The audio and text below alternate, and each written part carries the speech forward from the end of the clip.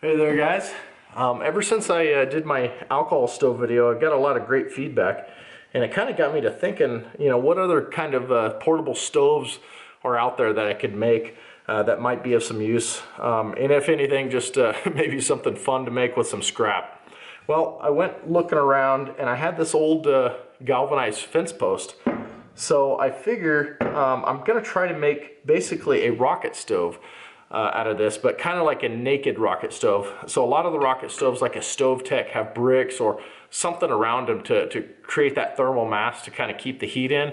And uh, that's great, but I just want to see, you know, just as a project and kind of helping me learn about the rocket stove, uh, the chimney effect and everything, I want to see if I can make it out of this, this pipe, uh, maybe some of these uh, bolts as legs, and then uh, some sheet metal, a little extra scrap sheet metal that I have uh, to make kind of like a grate at the top of that. So like you could boil water or cook some, something on a pan. So anyway, uh, let's get to cutting and uh, see what we can come up with.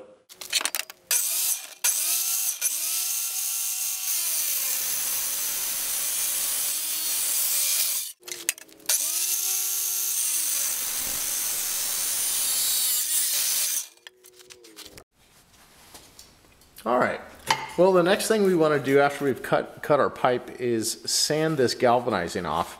Uh, we, we want it to just be bare steel. Uh, the galvanizing can be toxic when it gets heated up.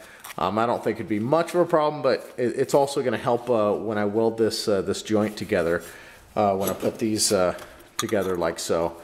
So let's go ahead and get it well sanded off and, and then we'll get to welding.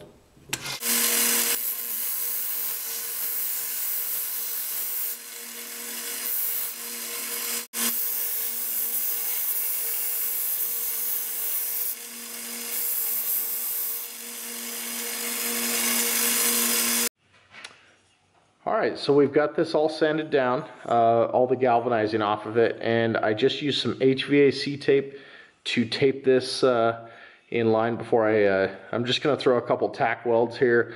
I think it's not gonna really be exposed to that much heat, so I think uh, just a few little welds, and uh, you know, if it looks like it maybe needs some more, maybe I'll JB weld some of these joints, but uh, I don't wanna have a big fat bead here, I just wanna have it kind of look nice, just a few little tack welds.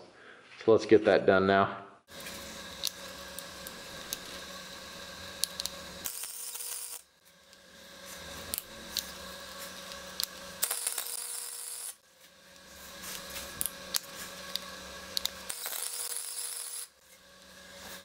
So the welding's done. I got my tack welds on here.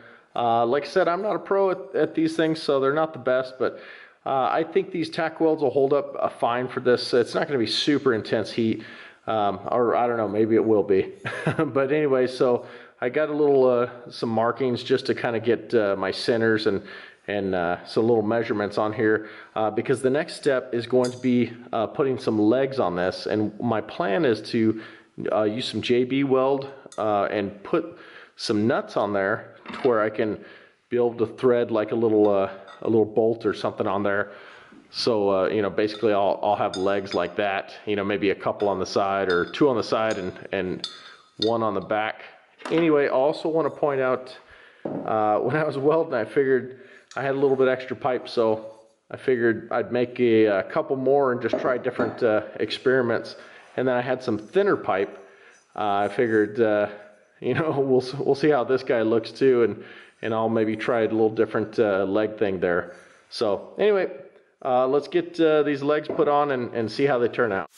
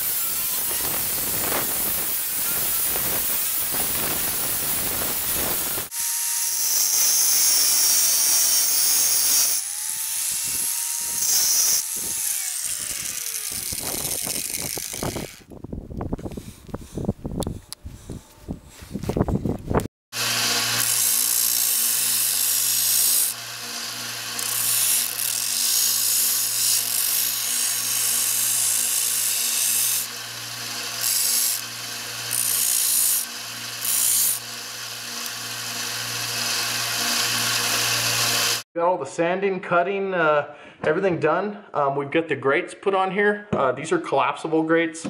I'm showing you the my least favorite one first, but basically just some sheet metal. I cut some notches in there, um, just how you do anything. That's how I've done all these. And then I just JB welded some nuts there and then used some carriage bolts as legs.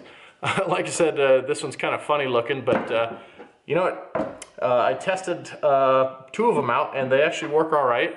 Um, probably not as good as a true rocket stove, but you know what? I just wanted to uh, kind of try something. So this is the skinnier one.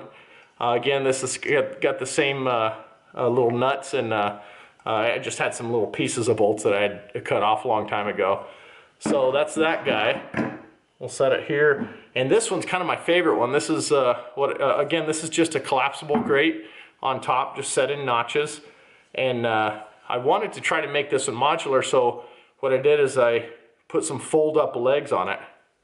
Um, you know, it's, it's probably not gonna be practical to take backpacking or whatever, uh, maybe more car camping just as a novelty, but you know, it's, uh, it's kind of a little project I wanted to uh, play with uh, for this, uh, uh, this kind of deal, just to learn a little bit more about rocket stoves. I want to try a couple more, but anyway, let's take these outside and, uh, and put some wood in them and, and, and, see how they work. All right, guys.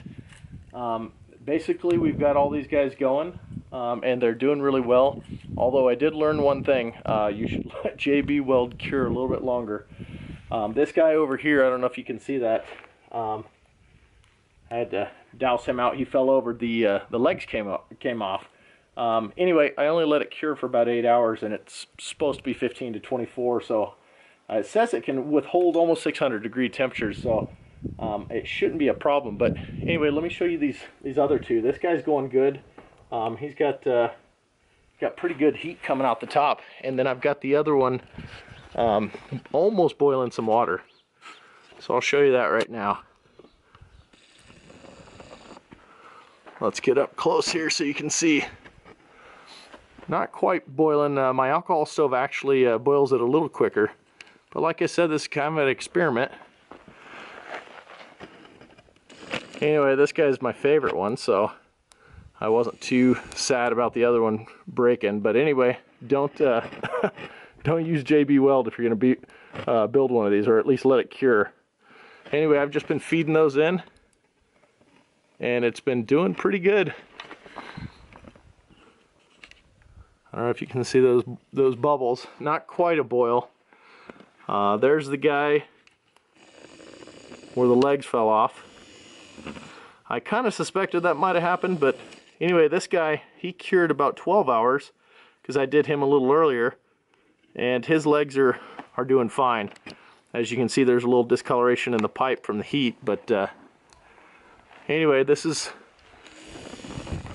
it was a fun little experiment and I, I think this stove will actually uh, stay with us and maybe get used for some other things. So anyway, thanks for watching.